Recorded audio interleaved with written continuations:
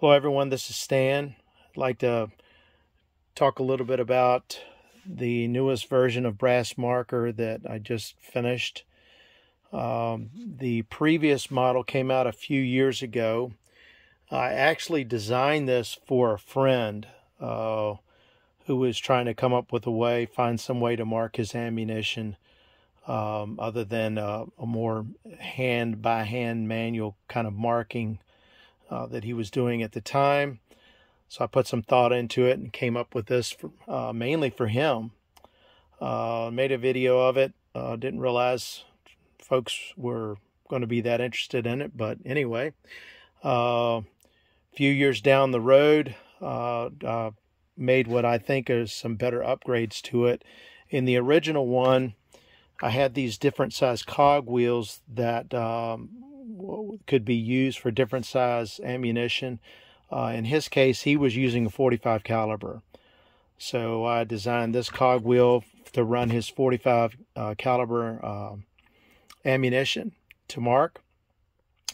And subsequently after that, you know, I did a nine millimeter and did a 223 size cog. Now, those cogs could also hold other size ammunition if they were pretty close to that size but you know, but you would have to change this cog out if you wanted to to run something different. Uh, you'd have to take off this top here and loosen the set screw, pull this wheel out, put another one on, which is not hard to do, but I just felt like that I really needed to come up with a better way to to do that. Um, this one also had this hopper on here, which was pretty pretty cool to watch it. Uh, you would you would feed your ammunition in here and then stack it in this hopper, and then when you turned it on, they would just continually drop down and load into the into the cog and and mark them and spit them out on the bottom here, uh, which was cool. That was pretty novel thing. Um, but I think most folks don't use that. I think they just manually feed them in. So in this new design, I traded this hopper for a better design and more versatility in ammunition size.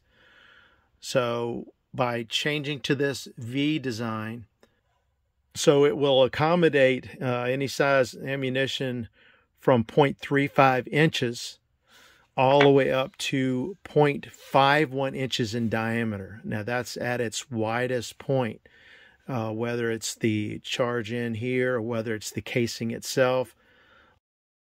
0.51 inches is the max uh, that it can uh, that it can handle. And as far as the length, if the casing size is about two and a quarter inches and doesn't go beyond that, uh, it will handle casings up to that length as well. So when I speak of casing length, uh, it's just that. Uh, what I'm talking about is the length of the case itself uh, before it necks down. Uh, in this case, this one's about one and a half inches long.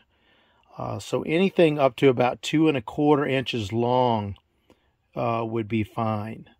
Um, it would stick out of the, it would stick out past the top of the skirt some, but that's okay as long as the bulk of the casing is down inside of it, it shouldn't be a problem at all. So anything up to about two and a quarter inches long as far as the casing length should be okay. But I don't have anything that long to try. This one would be too short to put in this way, but if you flip it over, as you'll see in the video, uh, it will mark it fine back here. But anyway, just a little discussion about that, but uh, you'll see here in just a second uh, how it marks the various different uh, sizes of ammunition. Uh, there'll be a link below to the, the previous video that I did uh, for this one and also to my uh, website. Thanks for watching.